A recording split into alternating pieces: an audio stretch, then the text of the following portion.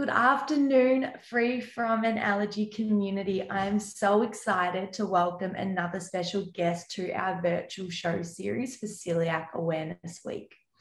So, Dr. Kim Faulkner Hogg is an advanced accredited practicing dietitian and member of the Dietitians Association of Australia.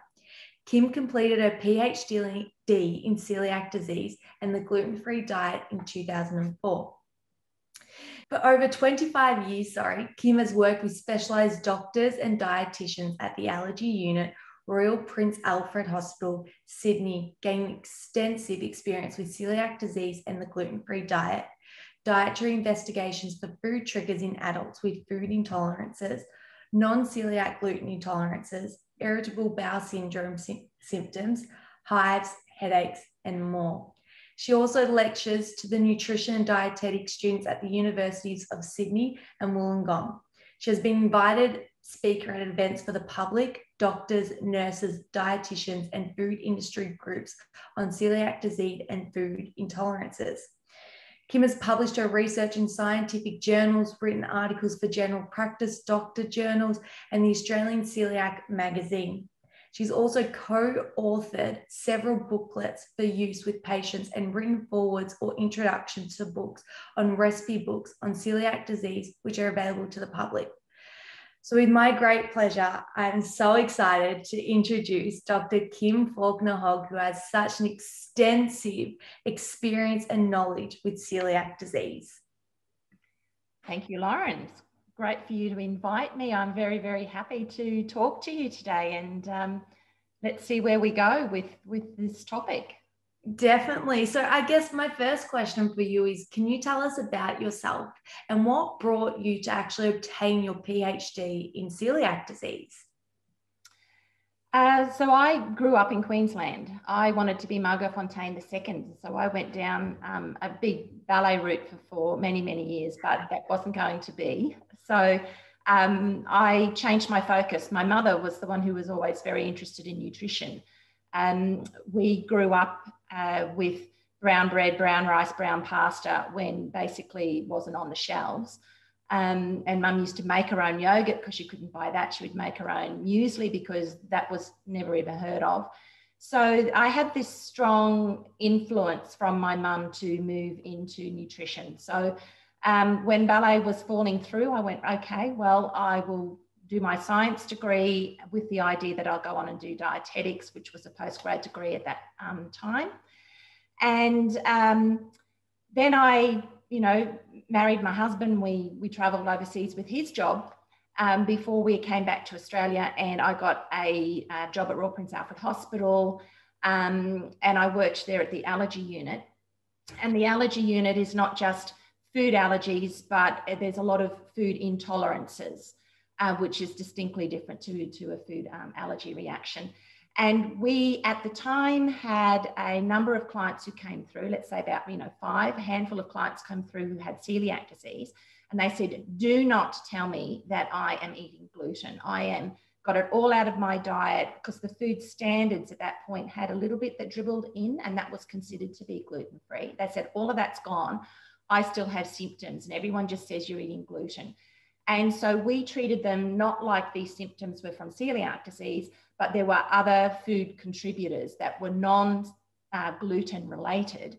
And we put them onto that particular uh, food chemical intolerance diet, and we were able to show that they did have symptoms. And then we actually continued as well. Um, the, the whole project looking then at celiac disease and what these really, really tiny amounts of gluten did. And we looked at groups because we were, the food standard was changing at that time. So we were able to capture it coming out of the diet.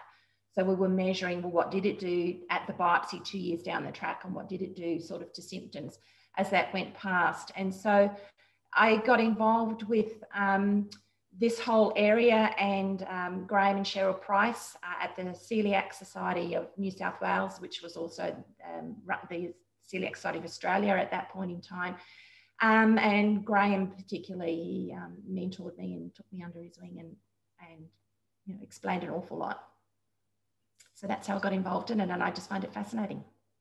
It's it's quite complex, isn't it? Like you think it's just like, oh, you're gluten free or you're celiac, but it's very complex. And I know one of my questions that I'll ask later is about that whole traces and when they do say that if there's traces of gluten. But my next question then would say, can you just briefly explain the difference between celiac disease and then being gluten free or gluten intolerant? Because I know that there that is some a bit of a confusion um, for a lot of people. Yeah. Look, it's really, really important to know if you've got celiac disease. There are probably more people who are intolerant than have celiac disease. So, you know, roughly the figures in um, Australia are 70%, or we can say in the Caucasian world, 1% will have celiac disease, but the figures are more like 10 to 15% are intolerant. So there are greater chances that you may be intolerant than you have celiac disease. But celiac disease has the long term medical consequences if you don't deal with it correctly. So with celiac disease, um, I sort of say to people, you know, you swallow your food, it goes down through the esophagus, through the stomach, and then the first part it empties into is the small intestine. So think of that as a garden hose, um, which is all wound up inside of you. And around that garden hose, you've got these finger like projections, which we call villi. And on those villi, you have uh, enzymes and other mechanisms that will grab onto the nutrients in your diet and you know absorb it properly get it into the bloodstream and take it to where it needs to be in the body and if you don't have these villi then you lose all those mechanisms to absorb your food and so um, a lot of your nutrients will just get washed out of your system so, people who have celiac disease, the gluten that's in the food that they are eating causes these things to be damaged. Now, they can be partially damaged, they can be completely damaged, which we sort of would call flat gut. And removing gluten helps these things to grow back. And it's the loss of these villi that ultimately cause a lot of the medical complications that occur for people with celiac disease. So, if they're not taking the gluten out of their diet, then these will continue to be damaged, which will affect all of the nutrients that they will absorb from their, their body. Calcium is, um, you know, one example. If you're not absorbing your calcium, you will break your bones more and you'll end up with osteoporosis faster. Now, people who have a wheat intolerance, they will have a, a very similar set of symptoms to people who have celiac disease, but this part of their villi is not being damaged. So they are not losing the ability to absorb their nutrients. So they are not, you know, if they've got osteoporosis, it's not because their villi have been damaged. It may be for other reasons. So, you know, if they will, um, they can go on sort of eating foods knowing that internally their damage is not being done. And that's why it's really important if you're suspecting wheat that we actually diagnose the celiac disease first, because once gluten comes out of the diet, it's you, you can't diagnose it. You've got to put it back in in order to diagnose it. So if you're thinking wheat's a problem, go ahead and get tested for celiac disease first. Let's, you know, take that um, diagnosis off the board to then know that we're dealing with an intolerance. And I find it interesting because my dad actually mentioned this the other day was that what is the difference, do you reckon, from now than 20 years ago? Because I feel that a lot of people are actually intolerant to gluten or wheat now, but you didn't really hear about this 20 or so years ago. Was it just because people just thought that was their quality of life? That's just what they popped it down to. There wasn't enough research. Look, it, it's a very interesting question, and I can't say that I have the answer, but I can give a slightly different perspective because the usual answer is we've genetically modified things, we've changed the processing, we've changed the way we produce breads, which for bread will work, but that doesn't mean that the wheats used in other ways um, uh, work in the same way that we've changed it for bread. So there's a lot of information out that is is looking at it from that perspective. So that that's all there, but something that uh, a lot of people don't realise uh, like I've been working in this area since the early 90s, and you know my boss since the 80s and even the late 70s, and um, so the people that I get my training from, those doctors would always say, and Lauren, if you're my example, you've come in as the client, they'd say, now what did your um, mother or father do, you know, to food? And how was your grandmother to food? Or how were your aunts and uncles? And so if you're in the 70s, we're getting, if it's your grandmother, we're going back to the early 1900s with information about their diet. And we invariably had families in whom they would say, well, look, grandma didn't speak an awful lot, but we knew she couldn't have spicy food. Or if such other family member was always on the loo after we had a particular meal, or someone would always get up from the table and have to go and lie down for an hour before they could come back. So you don't get the huge explanations that we've got today. And one of those reasons were a lot of the medical profession would say, it's in your head, go home, put your feet up, um, and it'll pass. You know, take a Bex, it'll pass. So people didn't really talk about it. They were not empowered or given the, the right to talk about it. They were made to feel that there was something wrong with them. But is, it existed. Um, so, you know, there's Samuel Gee back in the 1800s was looking at things that affect food. I've got this one quote that I, that I have, which goes back to um, like the, the first, second century um, AD, where they're saying, you know, food is poison for some, you know, food that many can tolerate is sheer poison for, for, for others. So you've, you've got a history where we know that there have been food reactions. But what happened at the turn of this century as well, and you know, thanks to our FODMAP group in Melbourne, is they've done an awful lot of publications around the effects of FODMAPs in diets. And and so they've gone around the world and they've not only well published, they've got other groups involved in, in um, looking at it, but they've, they've talked to it to a lot of doctors and a lot of, of people. And so now, um, instead of being said, told it's all in your mind, you're being said, oh, all right, well, let's investigate food. And there's a whole lot of different food investigations that have popped up. So we are now not just going, it's all in your mind, we're going, there's a problem here. We don't really know exactly what that problem is or how it came about yet from a scientific perspective. We're taking away the triggers by investigating all of these other different um, avenues. It's quite amazing, isn't it? Quite amazing. Yeah. And I, I, guess people, like you said, feel empowered now to talk about it. It's not embarrassing to go to a cafe and go, Can I get gluten free bread? Or do you use the same toaster as you do when you're toasting normal bread? Like those questions, they're just conversations now that people feel more comfortable in having. Yeah. Yeah. So I guess my next question for you is that you actually helped develop the low gluten and gluten free food standards for New Zealand and Australia. Can you share with us the process behind this? And if someone is gluten intolerant, can they still have low gluten as well? Okay. So, um, a lot of people actually get surprised when I say to them that the very first food standards allowed wheat, starch, and malt into a gluten free diet. So, when the very first food standards came about, um, they could only measure the total protein. And so in a food which was very, very highly refined, like a starch that started with wheat was refined down to a starch, the mechanism could only detect the total protein. And so you were allowed to have, and you know, this is going back quite a few years, I think it was 0.3% of um, the total protein left in a starch in order to go into a product called gluten free, which these days roughly sits at around 200 parts per million. Now, it was actually Australian Dr. John Skerritt who was the first to develop a test that could, could actually test for the gluten content of a food. And so Australia was the first to say, right, we need to use this test then in our food standard instead of having just this, this total um, protein.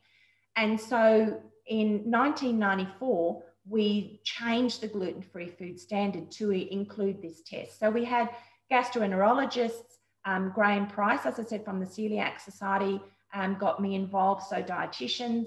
Um, he himself was a, a, a, chemist, so we had food chemists, and the food chemists would talk about how um, sensitive these tests were, how good they were. So the test was developed to detect a particular component of wheat gluten. And, you know, I think we'll probably get to questions later where we'll discuss gluten, but gluten isn't one entity, it does change. And so this test is made for wheat gluten. And the rye and the barley are, are similar enough that it can do a pretty good job with those particular components. But once you refine barley down to malt, it gets a bit iffy. And oats is completely different. Oats doesn't even have that component that the wheat gluten is testing. you know, oats, you've actually got 92 to 95% of people with celiac disease tolerating. So it's a completely different entity. Um, and so oats and the anything from the barley malt extract we just said can't go into a food because you can't actually detect it correctly. So you know, dietitian um, doctors were looking at what the research was available in the 90s to say where they felt it was going. And the best test at that point, its lower limit that it could detect was 30 parts per million. So that was 1994, 95. By the time we got to about 98, 99, we were, we were down to about 20 parts per million. Um, by the turn of the century, we were up to about five to 10 parts per million. And by about 2005, we're down to about three to five parts per million. Now, we can probably go a little bit lower at this point, but you're starting to get, there's always a little bit of, of tiny bit of error that may come in. So we're just sort of holding the official thing at three to five parts per million um, is what we're calling gluten-free. So three parts per million here in Australia. Uh, so I guess if can the community feel safe if something is labeled gluten-free that it is gluten free and if you're celiac, you can have it? Yes, look, there's a lot of research which is looking at um, not only symptoms, but what happens at the biopsy level. Mm-hmm. And look, Australia's got the strictest standard in the world. And the way that came about is really well, if it affects somebody, you know, one person, then we're not going to put it into communal gluten free food.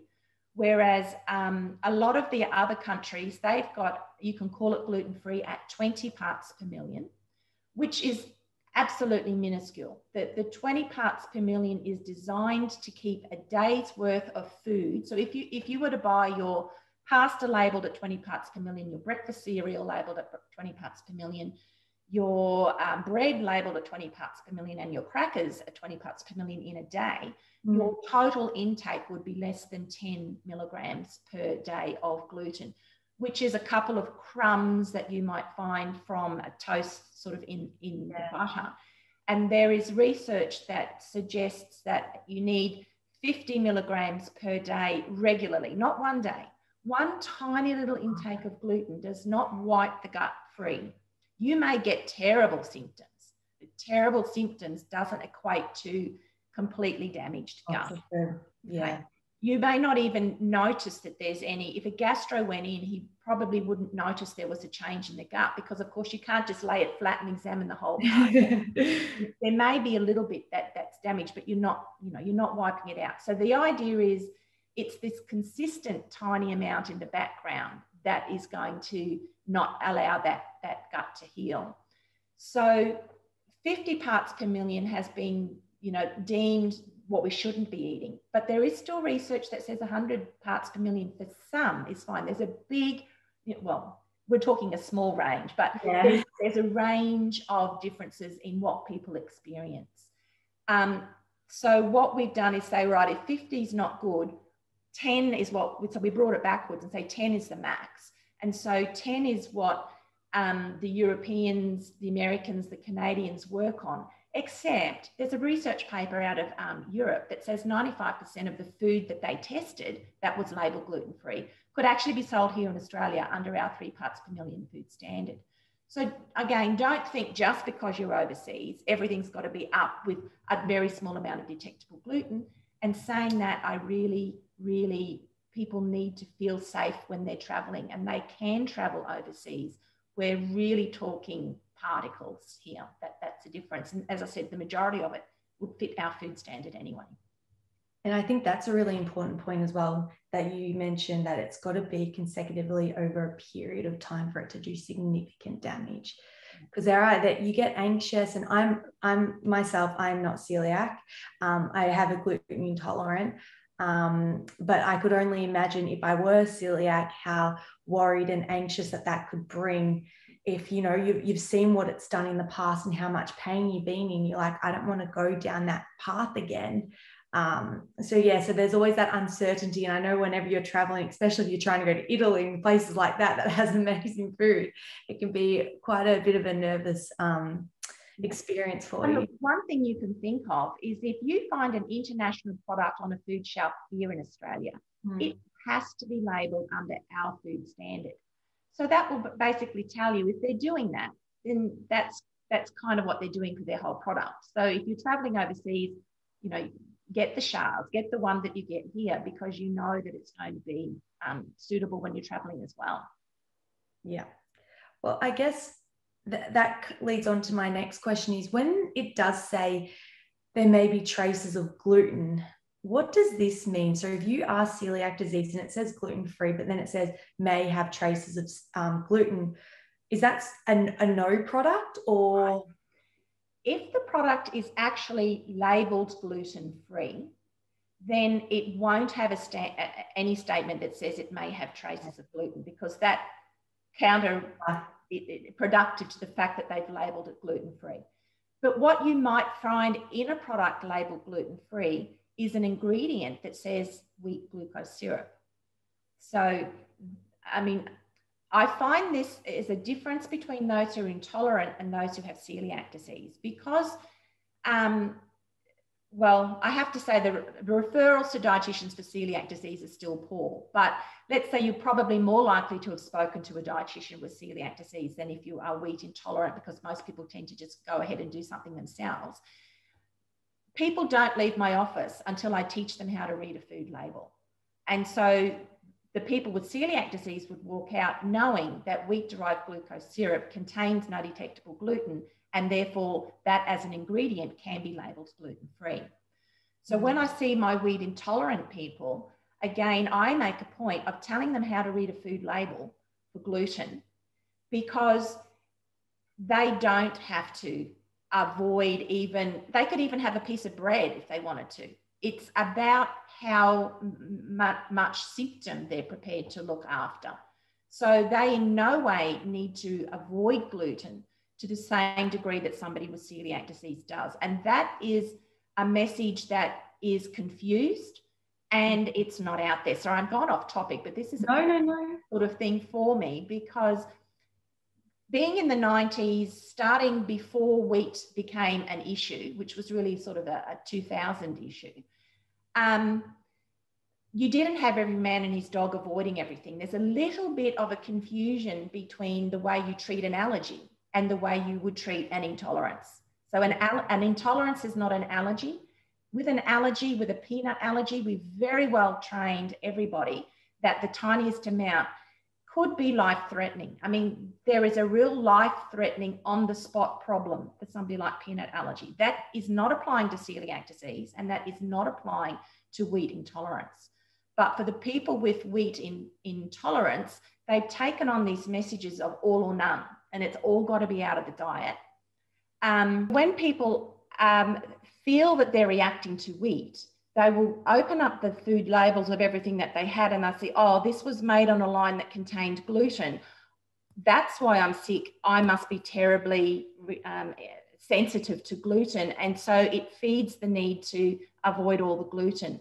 But through my food intolerance side and that study that we did with um, people that I mentioned earlier with my PhD, people on average reacted to five different substances in food that were not gluten.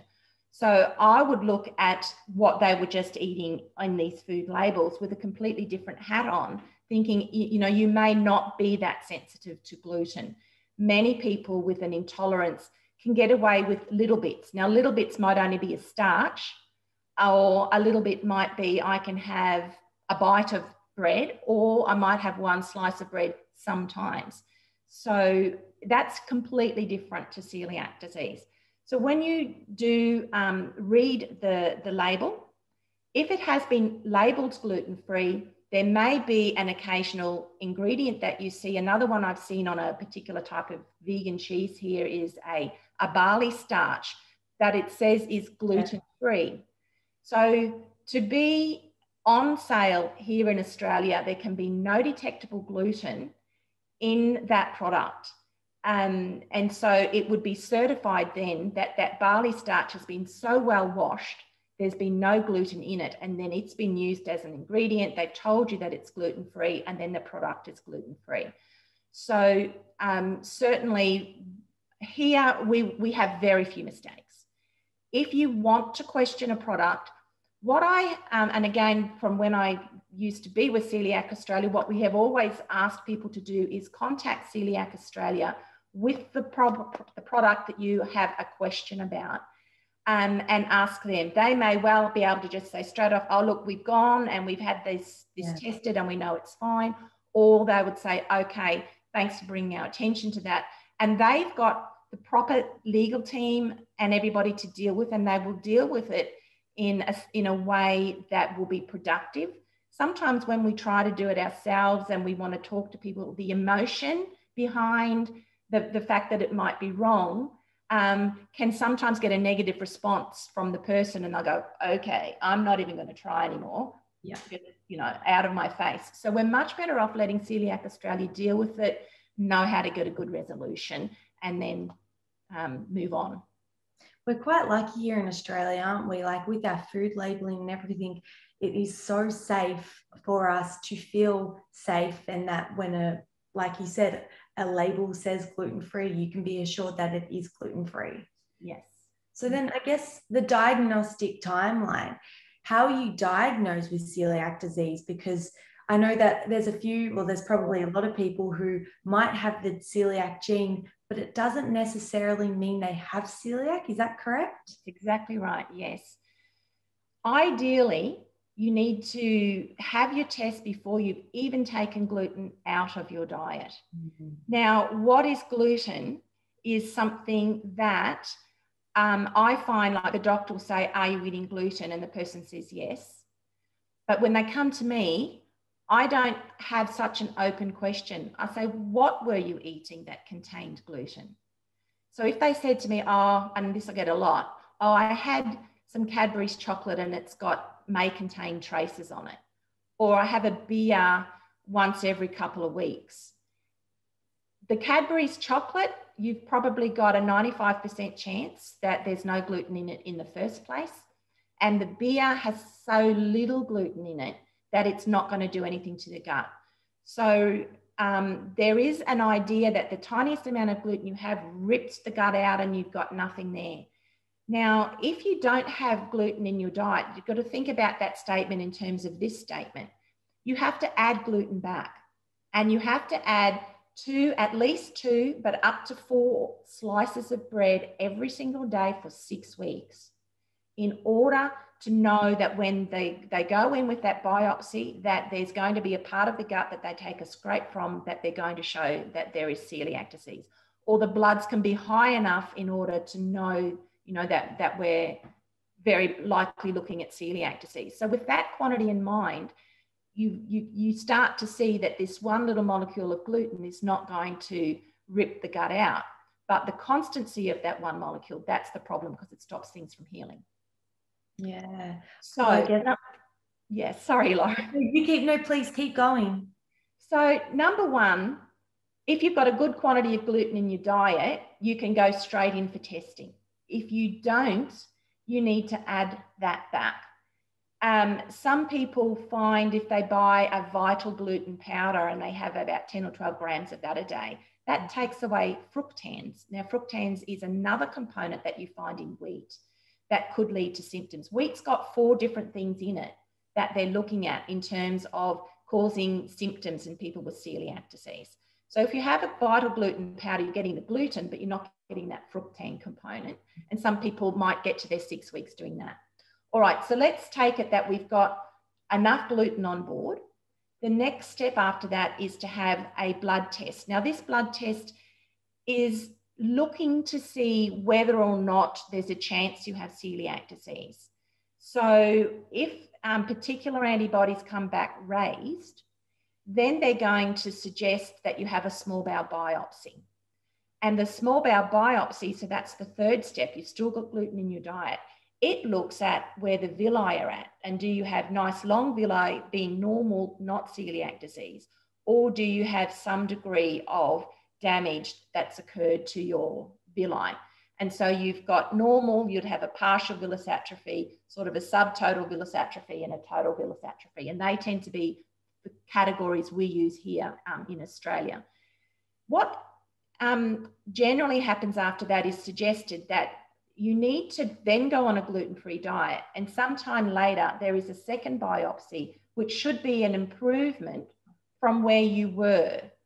So it, it's not necessarily that it's going to be normal. Now, that biopsy in the 90s was always done six months later, mm-hmm. but it was rarely normal six months later. And so I've noticed that the gastroenterologists now, they've pushed that out to 18 months or two years because they're trying to see whether or not the villi are more likely to be normal at that point. Now, we've got a study here in Australia that says even five years down the track, 85% of people will fit into that recovered um, category, but some still may not.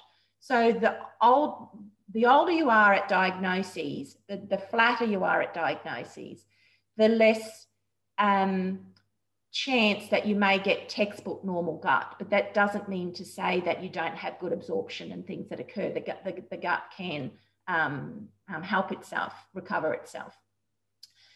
Now, then there's this question about can I be diagnosed by blood alone? Now, you brought up the genetic test. Mm. 30 to 40% of the world have these specific gene, um, genes called HLA-DQ2 or HLA-DQ8. The official figure is 99.6%, which we round up to 100. So 99.6% of people who have celiac disease have one or both of those genes.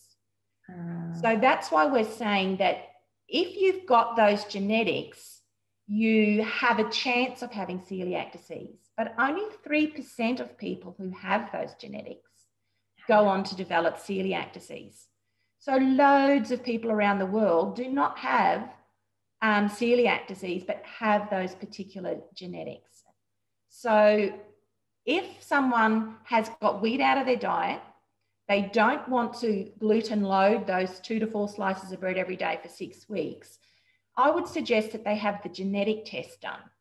If they don't have the genetics, incredibly small risk they will ever have celiac disease. That's why we kind of use it as you won't develop celiac disease. So you don't therefore have to load gluten back into your diet and have all those tests done. But if you do have the genes, you still need to consider the only way to diagnose celiac disease is to put all of that wheat back into the diet. Some people just it's they just can't do that yet. Mm-hmm. So there's a you know a new test being developed in Melbourne. It's not ready yet, but we're all sort of sitting there hoping that when that one comes out soon, or when that, sorry, when that one comes out and we don't know when or if or what the, the yeah, status of it is. Yeah. Um, it, it'll only need one meal of gluten. It's not going to need sort of everything that, that we're talking about. Because I guess, because you, you talk about people might develop um, becoming celiac over time. Is that because of the foli? Is it the foli? Sorry, villi. Villi, sorry. Is that because they start to get damaged and that's how the celiac is then developed? Because okay. some people are fine and then all of a sudden an event, or I, I'm not sure how it is, but all of a sudden they're celiac. Yes. We used to think you were born with it because we used to think it was a childhood disorder and they grew out of it by teenage years. For some reason, teenagers seem to be able to tolerate some gluten. But then they were finding out maybe even in their 20s and 30s, they were being re diagnosed with celiac disease. And then we were diagnosing, you know, people in there as adults, and we were thinking, oh, look, they've had it all their life, but they've only been diagnosed.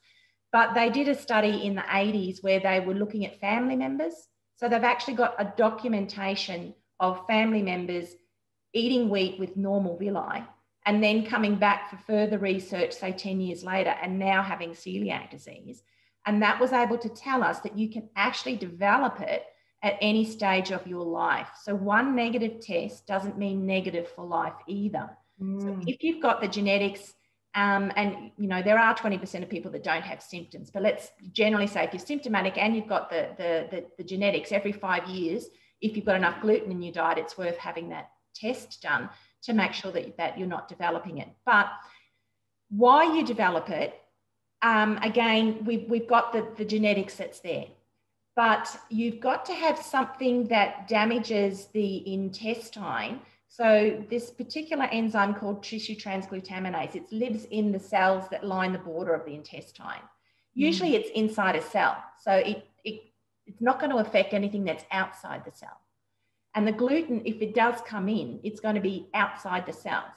So something has to damage those cells in order to let the tissue transglutaminase out, which is why they're looking at gut bugs and giardia and you know antibiotic use and all that sort of stuff as reasons that the cell might break open and then release the tissue transglutaminase. Because once that's done, it then binds with the um, the gluten that's got through, and that then starts to set up damage. Now, damage could happen very, very gradually. Again, you've got that spectrum of people, and it may be faster, it may be slow. But because you rarely have a normal before you have a damage, you don't really know how long process is going to be. In children these days, they have, since 2016, they have brought out some guidelines that you have to fulfill particular you know, categories. Your bloodline, your bloods have to be very specific in, in particular categories in order for them to diagnose celiac disease without a biopsy. And um, with COVID, we haven't been able to do as many biopsies as, as people would like. And so guidelines are coming out for adults now for this same type of stuff, where you, if the bloods are very, very high, um, you may be able to diagnose without a biopsy. And although that all sounds good, I, in speaking with um, some uh, people sort of involved with those tests, they were saying the, the actual test kits around the world differ. So ours are a bit different to where these studies are coming out of, of Europe. So it has to be 10 times the upper limit. So if the upper limit of your test is 20, then your bloods have to be 200. But sometimes you only get told that it's greater than 100 and you mm-hmm. actually don't know is that 120 or is that 500 yeah so sometimes it's a bit difficult to diagnose by blood. Um, if you've got the biopsy again you've got an idea of of where it started and how much you're recovering. So it's a good idea to have the biopsy. But again you need to discuss it with your your gastro yeah and i think that's why it's so important that if you are worried if you have celiac disease, it's so important to partner with the specialist like yourself, with a gastrologist, like to get those answers and to have that safe, active recovery after it. Because is there an actual cure for celiac disease? No, there isn't. Um, at this point in time, we don't even have a medication that can help manage it. So right now it's managed solely by diet. So there is no medication. Mm. So I know that there are things that people are looking at, but none of those have translated yet into something that can be effective. And that's why, from a psychological perspective, celiac disease takes its toll because you can't just take a medicine and then go out and live your life the way you want to. It's, it's every meal, everything that you put in your mouth it's every social event, it's you know birthday parties, it's religious, cultural events with cultural food that's involved.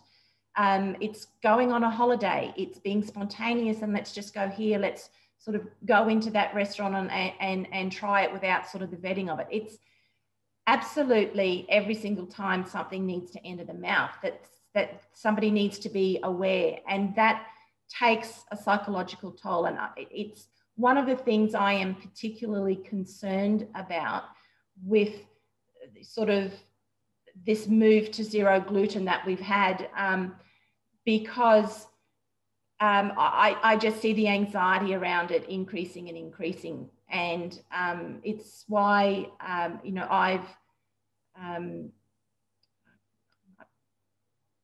again, you can cut it. Yeah, that's fine. Whether you want this part. Um, it, it's why I have particularly started talking to people about a product called GluteGuard. But um, I do need to say that I've been talking about GluteGuard for a while, but as of last year, I'm now on the um, medical advisory board for GluteGuard. It is not a medication for celiac disease. It is a tablet that can break down small amounts of gluten. Mm-hmm. It cannot be used to think, I've got a piece of bread here, how many tablets are going to break it down? There's no guarantee of breaking all of the gluten down. What they um, know is that it will break down some, so it's only suggested use for people with celiac disease is if you're in um, restaurants, you're uncertain of the food. Now, you've got to do all your groundwork. You've got to put in all the questions to ensure that to the best of your knowledge, they're going to be giving you something that's gluten free.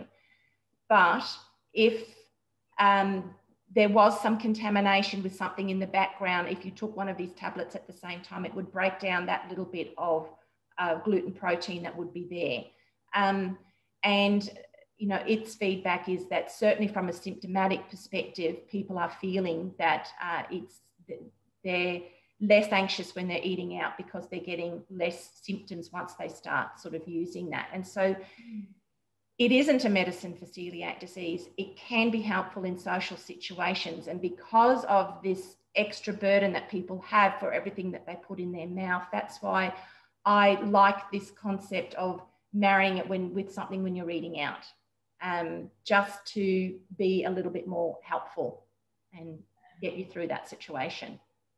I also, and I love that point, and I know one of the speakers later on throughout the week will be talking more about the emotional impact because a lot of people don't think about that. It's just like, oh, yeah, you've got celiac disease, but they don't under- understand how emotionally it can take a toll on you. And if you're constantly thinking about it, and we spoke about it earlier about anxiety, and you can even start to get really um, unsettled, you don't want to go out, and your quality of life can change. Yes, very much so. Um, well, I guess I've got a few before I let you go. I've just got a few more questions for you. And one of them is what are the common things you need to be careful of that may contain gluten? Just some common ones that people may not know of, such as preservatives or. Um, gluten can be found sort of in many, many things because it's it's um, it, it's good at gelling. It's good at a, a, sort of a particular type of texture when you've just got it as as gluten itself. Um, you can find it in in some sausages, you know, in in preser- um, processed sorts of meats. Yeah. You can find it as a thickener. In the 90s, people didn't have yogurts because yogurt quite often these days is thickened with a thickener, and that thickener used to be wheat these days I haven't really found a yogurt that you can't have because they they've gone out of their way to make sure that they're putting um, some gluten-free thickeners into those products. Um, so it's there um, as thickness. It can be in gravies and sauces. So when you're out in restaurants, that's why a lot of people just get things minus the gravy or minus the sauce because the wheat starch could be in there, sort of just thickening things up. Potato wedges, it could be on. Potato wedges are often cut and they're rolled sort of in a spice with flour. And when it's deep fried, that flour helps to crisp it a little bit more. Yeah. Um, so it's not necessarily there in hot chips, but potato wedges is something that people do need to, um, you know, talk about. It can be there in jelly type lollies. So your snakes and um, jubes and that type of thing. It could have a starch that's in it. So that is something that um, you know people need to be aware of because it's so easy just to, to, to, to grab that. And the, you know when you have an M&M or a, or a, a Smartie and you've got that crisp coating that's on the outside. Yeah. That crisp coating, it's the wheat starch in, in that that um, it can be found. So again, you need to read those sorts of products. Menthol, sometimes that have that crisp coating, might have it. You, you need to read the label because sometimes, you know, it won't but again, in tablets and pharmacy products, if I went back to the 90s, nearly everything had a wheat starch in it. You know, if the tablet, let's take vitamin C. Vitamin C is the medicine, but you have this nice round orange tablet. Yeah. So to put the vitamin C into the round tablet, wheat starch was what they called a filler. So it helped to create the tablet. But these days, pretty much everything has gone to a maize starch or they're using something that that's not wheat, but occasionally it can rear its head and it can be there. So there's some of the things. And that reiterates the importance of if you are have celiac disease, like it's so important to go get the help because it's these little things that you wouldn't even think about. Like you'd go to get your medication, you wouldn't even think that maybe your medication could have a trace of gluten because you're just thinking, no, I'm taking that to get better. The doctor prescribed it. Exactly. It's always worth just reminding the doctor that you had celiac disease and is that a, a gluten free medication because he's not just going to remember everything, especially if you've come to something that's non celiac related. He's not necessarily going to remember you're the person with celiac disease. So it's just worth saying when he's prescribing a medication, is that a gluten free one? Yeah. Well, do you have any other tips, I guess, for someone dealing with celiac disease? I guess because that was a good tip to ask the doctor or just reiterate to make sure I do have celiac disease. Any other good tips that you find useful? Look, I kind of have a, a list, but um, number one, join Coeliac Australia. They are a fabulous organisation. They've got a you know a handbook can give you lots of tips, but it also keeps you informed on the research because celiac disease is not static. Um, there's been changes since my involvement in the 90s, and there's going to continue to be changes. So, what I do say, I, I make my changes go with the research, which you know is the 10 parts per million, not necessarily just the, the mm. everything sort of at zero. So, when the I look at the the um, the average, what majority of people are okay with, um, and not always what is the, the best for the most sensitive. So if I've got the most sensitive, that's what we're going to talk about. Otherwise, for most of my clients, I'm going to talk about what is the average. Um, it's really important to understand the nutrients in a gluten-free diet. There are issues with what do I need in the short term. Now, short term might be two years. If we're talking about this being lifelong, okay, so short term might be two years. What do I need in my recovery, depending on my bloods and degree of my villi damage? And then there's now I'm eating gluten free. What nutrients in my gluten free diet do I need to give more concern to for my lifelong diet? Um, and that is going to be slightly different to, to, to everything else. So don't think that you have to just swap wheat for gluten free. You know, we need to get a little bit more creative. We need to use some of the whole grain gluten free foods and start thinking about we can make some some swaps, but we can also deal, you know, do something else, um, uh, you know, in order to sort of deal with it. Yeah. So, um, home prep. I've talked about, you know, that that glucose with eating out. The more you eat out, the, the you open yourself to possible contamination. And remember, I said it's that little bit, little bit, little bit that's always in the background that's the issue. So if I'm going to run out the door and buy breakfast and then I'm going to go out and buy lunch and then I might get some takeout on the way home, that's three times that day you've already exposed yourself. So if you don't like food, I really encourage you to try to have some sort of input in food prep and prepping something for for lunches. Have breads and gluten-free bagels and things in the freezer. So then if, if you are really caught out and nothing's prepped, you've got some gluten-free bread you can run out the door with and and you know even if you just take cheese and tomato with you to put in it but you might find a salad shop where you can present them with your bread say use some clean tongs and let's put something sort yeah. of on the bread so food prep eating what you can um, that you have produced so limit the exposures but i don't mean limit your social life mm. um, and that's that's why i you know, talk about that GluteGuard tablet because that can help you then um, with that, that social life, but you have to think about the frequencies. Yeah, I think that's very important. And I guess my last question for you um, do you get asked a particular common misunderstanding or question in your practice that you can share with us? So, is there something that you always see regularly that your clients come in and they may be misunderstood or there's one common question that always gets asked? Mm. Um, look, I have about three that come up frequently. One of them is the wheat glucose syrup. Yeah. And, um, you know, can we really have wheat glucose syrup even because it's been derived from, from wheat? And the answer is yes. The, the, if there's any protein that's left in the glucose syrup, it doesn't and it's mostly used by um, uh, like I guess lolly type manufacturers. It doesn't do what it's supposed to do if there's there's protein in it. So, in order for the company to sell its glucose syrup uh, to that big manufacturer, it really has to have the, the you know the, the no detectable gluten down sort of level in it, and so it's really very very refined.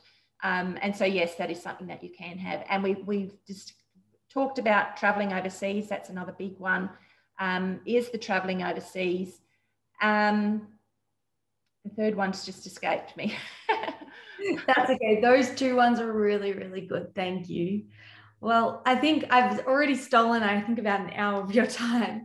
I honestly want to thank you from the bottom of my heart and from the Free From an Allergy community for giving up your time today and talking about it. You can see how passionate you are about celiac disease. And I think it just really makes us, especially the community, quite happy and we feel quite confident that there are so many people out there with such knowledge like yourself who want to help us and who have some answers because it can be quite a lonely journey. So it's nice to know that there is help out there and there is a lot of research that is continuing to go on. And at the end of the day, if you do have celiac celiac disease, sorry, it's not the end of your life. It's just the start of a new exciting journey and you find different things within that. So thank you so much for your time today, Kim. Oh, you're welcome, Lauren. Thank you for the opportunity of being able to speak to people and um, and be a part of this event. And I was going to say, if people want to connect with you, I know we'll have your area in our exhibitor area if you want to book in a session with Kim. But can we find you on social media? I'll pop all handles underneath this anyway. Uh, yes, I, I'm pretty new to Instagram, um, but I, I have started Instagram now. And I do have my website. Um, what other forms of social media are there? Because I was going to say your Instagram was good because I was looking at it the other day and there was so many helpful tips on there. Because I saw one about iodine and salt and I was like, I had no idea. but I'll pop them all in the description of this video. So if the community want to go explore, um, educate yourself, there's resources out there. So I'll definitely make sure I share all that stuff with them um, LinkedIn, sorry, is the other. Perfect. So that there's the LinkedIn, there's the Instagram and the website. Website. Perfect.